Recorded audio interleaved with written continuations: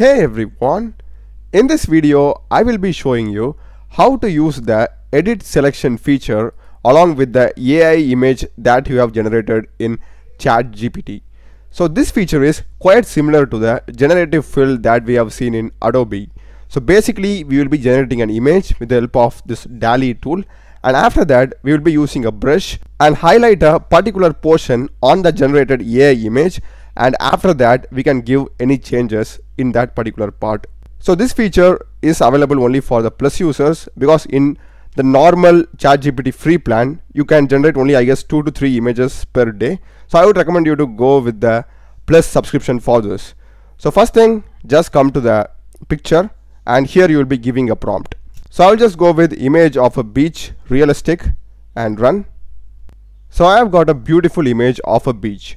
Now in case if you want to add a home or a boat in this picture itself, what you can do is just click on this image and at the top you will be having this select option. Click that and here we will be getting a brush like this.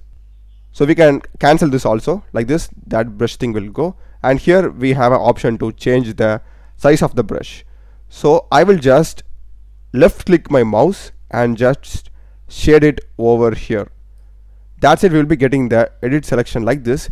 And here we need to suggest some changes that we want to be incorporated into our AI generated picture. So let me just go with a ship like this. I will just go with add a big ship here and run. And here you can see I have got a much bigger ship over here.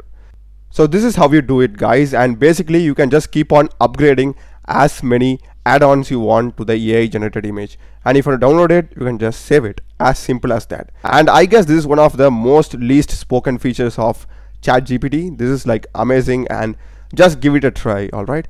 And I hope you have found this video useful guys.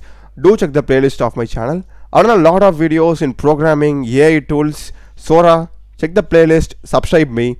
Thanks for watching.